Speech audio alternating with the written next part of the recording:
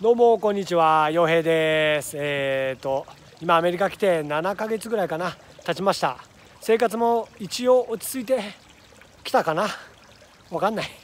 けどまあなんとか心に余裕ができたのでちょっとね動画配信なんかしてみたいなと思って始めたいと思います。まあアメリカにあるこう日常的なもんとかまあなんかえー、簡単なもんですけどもちょっといろいろ紹介していきたいと思いますので面白かったらあのチェックしてもらえればと思います。のでよろしくお願いします。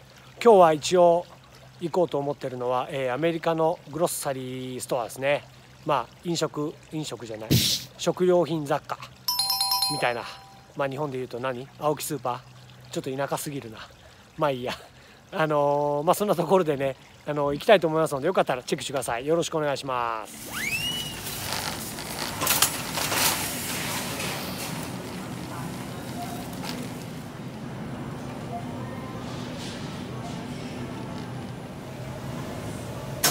これはここでサンドイッチが作れるんですけどハムこうやって選んで何パウンドかとかそれで自分で。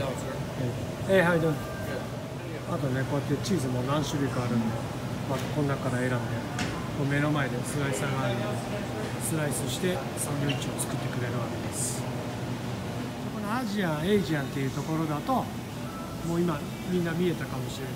このちゃんとね醤油もあるんですよ。こんな田舎な町なんですけどなんとカレーもあります。これは驚きました。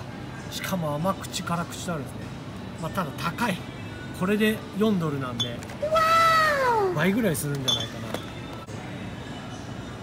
あとガリがあったりわさびがあったり一応できますね。ありますね。いろいろポン酢もあるしなんとたまりもある。すごい。一応錦これカリフォルニアですけどこれ美味しいんですよ。これ日本米。めちゃめちゃ美味しいやつまあこれでいくらか5ドルか。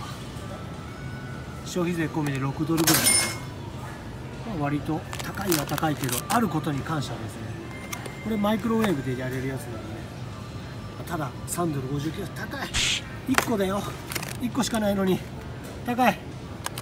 まあでもしょうがない。これちなみにあの子供がいるとこれ食べていいよっていうフリーの勝手に食べていいやつです。シーフードね一応まあもう寿司って言ったらあるんでどこにでももう一応ありますただそう How you doing? How you doing? Thank you. Good. Good. Looks beautiful. Wow. そうこうやって一応あるんですねまあ beautiful とは言ったんですけどもなかなか、まあ、でも綺麗に巻いてますねすごい上手上手いいんじゃないですか？